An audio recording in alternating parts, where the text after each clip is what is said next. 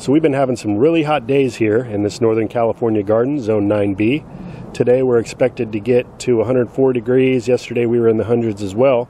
So what tends to happen on these really hot days is that the birds hang low in the afternoon, they come out in the early morning and in the evening as it begins to cool down. But in the middle of the day, when it's most hot, the bird water actually serves a second purpose and is mostly being visited by wasps, bees, who are all very thirsty and like to take a dunk in the cold water as well.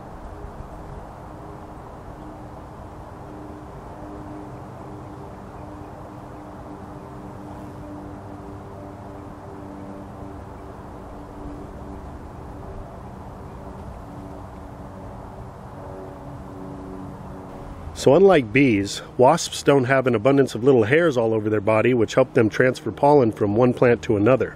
So they're not as effective at pollinating your plants. What they are though are a beneficial predatory insect. They help to take care of some of the pests that are in your garden. Pests like the cabbage moth or the codling moth, the eggs they lay, the larva that hatches out, or the caterpillars, all of these are taken care of by the wasps. They'll even feed directly on houseflies and the larvae they lay, or the maggots.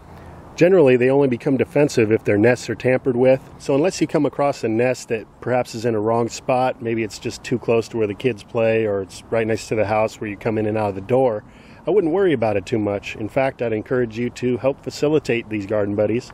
So after stopping by for a quick drink, the wasps and bees will head back out to continue to defend and pollinate the garden with no reason to go elsewhere to look for a cool drink of water.